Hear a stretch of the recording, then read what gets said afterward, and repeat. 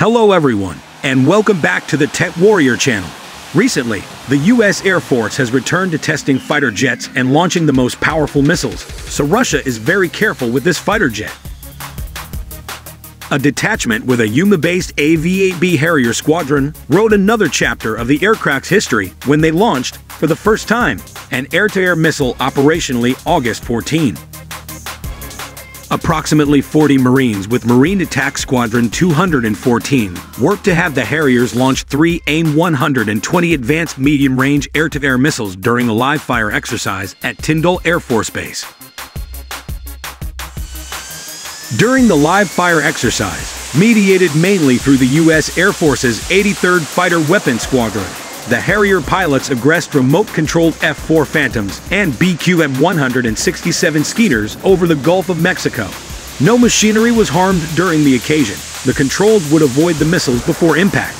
The significance of the AIM-120 first successful operational launch. This expands the capabilities of the Harrier while deployed with Marine Expeditionary units at a time when the Court is getting back to its amphibious beginnings.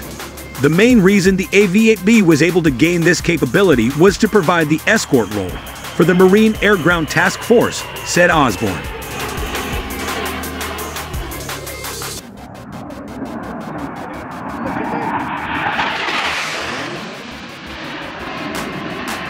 The capability bridges the gap between the Harrier and the F-35 Lightning ILA Joint Strike Fighter. This enabled greater commonality between all two variants as the commonality goal was important at this design stage. The Joint Strike Fighter will have long-range armament too.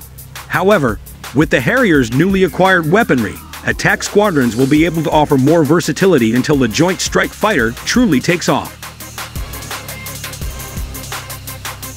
As the Joint Strike Fighter program moved into the system development and demonstration phase, the Harrier demonstrator design was modified to create the F-35 combat aircraft. The undiverted supersonic inlet was changed from a four-sided to a three-sided enclosure shape and moved 30 inches rearward.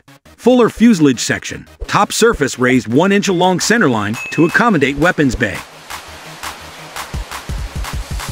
It's another step forward, increasing the AV-8B's capability of long-range warfare.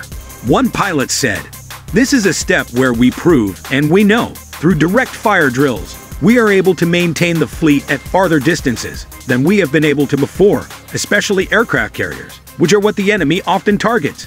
Thanks for watching. See you the next videos.